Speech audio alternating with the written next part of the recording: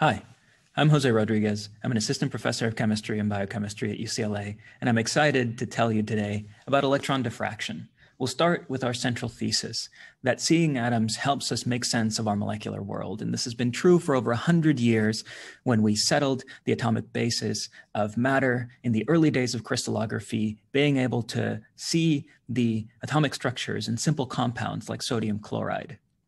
In the ensuing uh, century, we're able to resolve the atomic basis for uh, genetic material, uh, DNA, and uh, other similar molecules. We're also able to witness the atomic structure of proteins and other complex molecular machines. Uh, but all of this was dependent on our ability to crystallize these molecules that we wanted atomic structures of. And they ranged in size from a few atoms, like a molecule of glucose, to uh, tens of thousands of atoms like those found in a complex virus structure. Yet all of these were able to form uh, ordered molecular arrays, crystals that we were able to interrogate, uh, primarily using X-rays as a source of quanta. Now, uh, as molecules grew more complex or difficult to source, we're uh, challenged by our ability to crystallize them, especially into large enough crystals that would produce sufficient signal for us to interpret a molecular structure from that assembly. Now, uh, to deal with these small crystals, a field of X-ray microcrystallography emerged. Uh, and in these cases, the crystals were probably no longer than uh, a few hundred microns. Uh, you can see an example of microcrystals here uh, imprinted on an image of the side of a dime. You can see the E of the dime here. The crystals are mounted on glass capillaries. You can see these small needle-shaped crystals.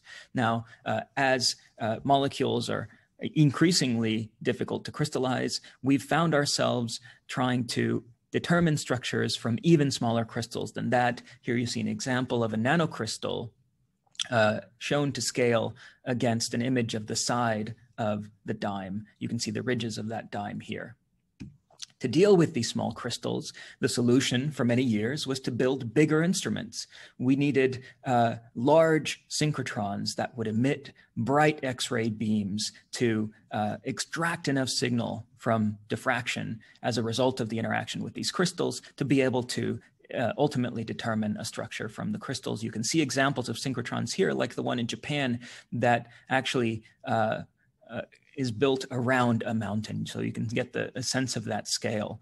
Uh, even bigger instruments now can pack brighter and brighter X-ray beams. This is an example of a linear accelerator at Stanford, a kilometer long machine uh, billions of dollars required to build this machine to be able to pack enough x-rays to diffract from the smallest possible assemblies that we've been able to uh, garner.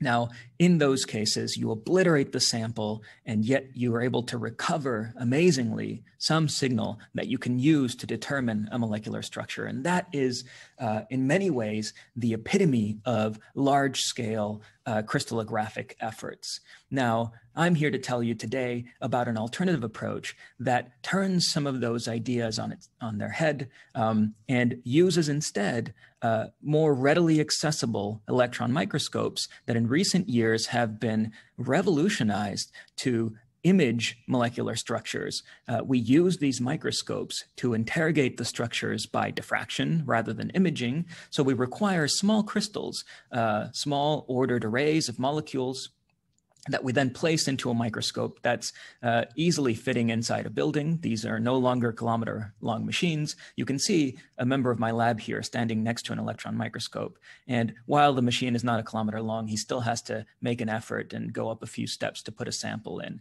Uh, our ability to shape electron beams allows us to illuminate small regions of matter. Um, these crystals are present inside the electron microscope. They're illuminated by the electron beam, and the resulting diffraction is recorded, eventually allowing us to render a molecular structure from that assembly. We can see uh, an example of that process here on one crystal. You can see a needle-shaped crystal here, along with a variety of other shapes and structures, some of which are not crystalline. Um, we choose to interrogate this crystal, illuminate it with an electron beam, uh, rotate it in the electron microscope so that we can see uh, diffraction at different views. Uh, that results in a movie played here that gives us enough information to determine the atomic structure with a, re a, resolution that's about 0.8 angstroms. The resulting structure is shown here, a small collection of atoms belonging to a peptide that we can easily interpret um, and connect uh, all of those atoms into a molecular structure. And this structure is comparable in quality and uh, density for each of these atoms to some of the highest resolution structures in the protein data bank because of this ability to interrogate these small crystals, a large number of groups have become interested in this technology and are pushing its limits as we speak. There are materials, proteins, peptides, and small molecule chemists all determine, determining structures at the moment. Um, and this has led to uh, an onslaught of papers uh, emerging from uh, these laboratories around the world looking at membrane proteins, uh, globular proteins, peptides, novel structures, uh, even some uh, invisible crystals. A compendium of the structures is shown here. Uh, many of these structures are determined uh, for the purpose of improving the method and are previously known. Uh, a growing number are entirely novel. So these are new structures that were never determined previously and have now been elucidated by this method, uh, most at atomic resolution. So we can see where all of the atoms are in these molecules. And in particular, this area has completely exploded in the last two years uh, as a result of the ability to interrogate small molecule organic compounds using this approach. A team at UCLA and uh, simultaneously at a couple of other institutions around the world was able to demonstrate that you can put small molecule organic uh, crystals in the electron microscope and determine structures rather quickly. And this uh, obviously led to a lot of commotion uh, in the world of organic chemistry and uh, chemistry at large uh, because it uh, opened up new doors for exploring molecular structures. And since that publication in just the last year, uh, just at UCLA, a growing number of structures have been determined by this method. And most uh, importantly, the structures are accurate when we look at side by side the structures determined by electron diffraction versus structures determined by large perfect crystals in an X-ray crystallography experiments, they're essentially indistinguishable from each other. This has revolutionized um, our ability to look at small molecule structures. Uh, and it's inspired many to think about new innovations and challenges in electron diffraction and electron microscopy uh, to expand its reach and uh, solve new problems. I'm now going to tell you about just a few of those uh, new adventures in electron diffraction and why they're uh, so exciting to the community. One of those innovations involves the nanomachining of thick crystals using focused ion beams, crystals that are too thick for the electron beam to penetrate, diffract from, and allow for structural interrogation are broken down, pieces of the crystal are ablated by the focused ion beam, allowing for a thin lamella to remain, akin to the process used by electron tomography to image inside of complex specimens like cells. In this case, you can see a crystal inside a scanning electron microscope. Whole parts of it are now ablated, revealing a thin lamella of structured molecules uh, that are interrogated by the electron beam. This can be done for small and large molecules like proteins, it has been tremendously effective for uh, globular proteins like the ones you see here. This is a nice uh, pyramidal crystal shown here uh, lying on top of a grid. You can see that crystal being ablated by uh, the focused ion beam in the electron microscope. You can see here diffraction from the thin lamella that, re that results, and you can see the uh, wonderful uh, molecular structure um, that is obtained from that lamella. You can see the same being done for membrane protein crystals that are uh, more difficult to grow in many cases, that are uh, challenging to control the size of. And uh, an example of one such membrane protein crystal shown here with a lamella uh, gives you a beautiful structure of this barrel-shaped uh, protein. Now, uh, in many cases, uh, you're not actually able to grow crystals large enough to mill, and you still have a tremendous degree of heterogeneity on the nanoscale. Uh, this is an example of small molecule. Um, in this case, the small molecule uh, fischerin has been uh, postulated to uh, contain the structure shown on the left uh, the uh, exact structure remains unknown. In this case, a student that was an organic chemist and not a crystallographer learned uh, microED. They learned how to perform electron diffraction, collected a large number of movies from a relatively heterogene- heterogeneous specimen. You can see the specimen here again on a carbon film with holes in it. You can see these plate-like crystals that are extremely translucent, uh, barely thick enough for a few layers of molecules to uh, assemble. You can see diffraction from these crystals, uh, relatively low resolution, but still some high resolution diffraction here, allowing uh, the student to determine ultimately a complex structure of fischerin shown here uh, with uh, six different molecules in the unit cell. The molecule adopts six different uh, conformations, all present within one crystal structure. This is an amazing structure, uh, and it illustrates the need for methods to better wield electron beams and focus them to ever smaller regions to be able to diffract from well-ordered subregions of a crystal this has been recently pioneered. You see a focused electron beam here that uh, spans no more than about six nanometers in uh, full width half max. You can see uh, standard electron diffraction pattern collected from a region of a nanocrystal shown here in blue. The region illuminated by the electron beam canonically is about a micron in diameter, sometimes smaller depending on the aperture used. Now techniques are becoming available to make beams uh, even smaller than the one I showed in the previous slide, with diffraction being recorded not by uh, conventional uh, charge coupled devices, but by new direct electron detectors that are extremely sensitive, recording every single electron that's diffracted from the crystal, uh, producing patterns like the one you see here. You can still see diffraction in these patterns out to relatively high resolution. Importantly, because the beam is so small, you can raster the beam across a sample and obtain structural information and variations in structural information within a field of view. You can see here uh, an algorithm that is meant to uh, separate the uh, various different types of patterns, diffraction patterns that you might obtain from a single uh, field of view, uh,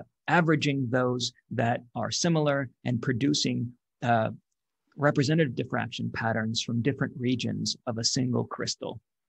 This information can then be digitally combined to yield uh, a full tilt series set of diffraction patterns from a defined, uh, digitally defined region of a nanocrystal.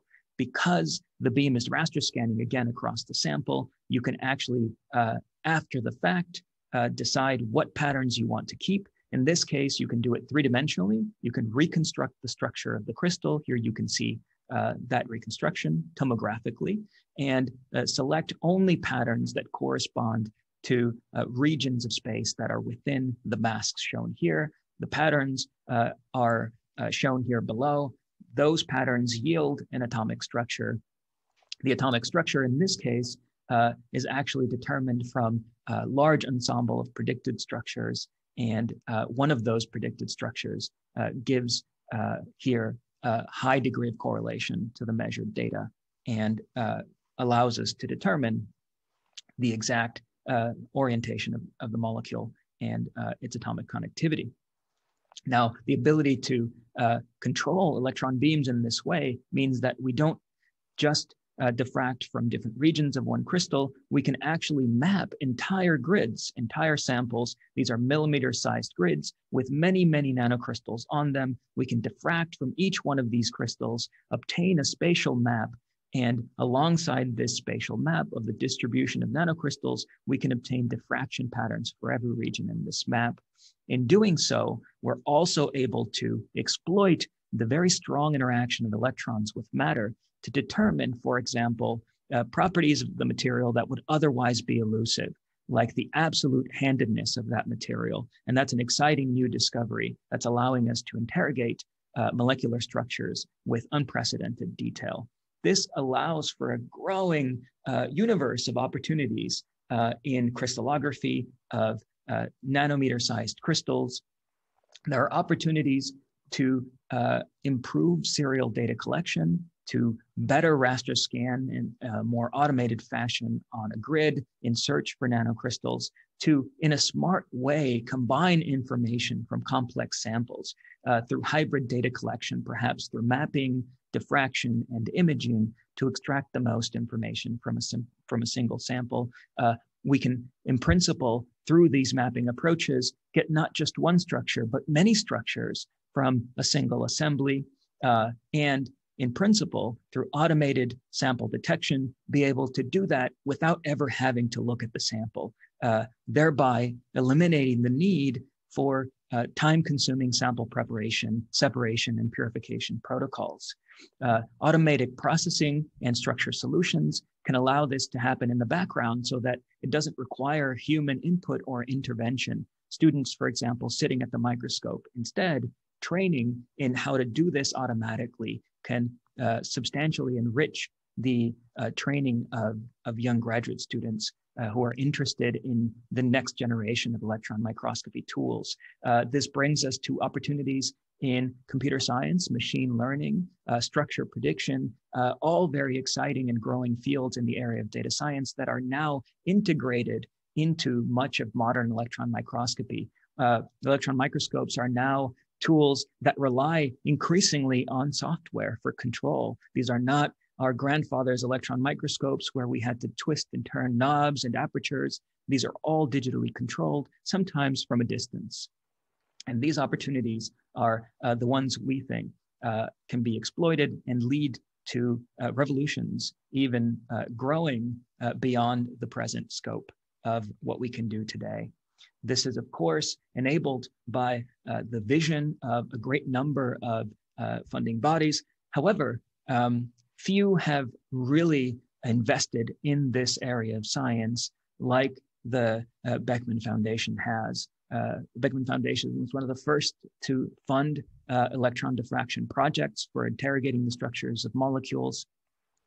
And since a growing number of other fund funding bodies have uh, participated in funding bits and pieces, uh, no large foundation or government agency has yet dedicated funds to uh, specifically enable electron diffraction uh, focused microscopes for the community of chemists that are increasingly uh, needing access to these tools. Of course, they're faced with the challenge of uh, asking uh, other scientists, often biochemists or biologists, for uh, some time on cryo-EM microscopes used for molecular imaging. And that presents a major challenge for chemists in particular trying to do electron diffraction.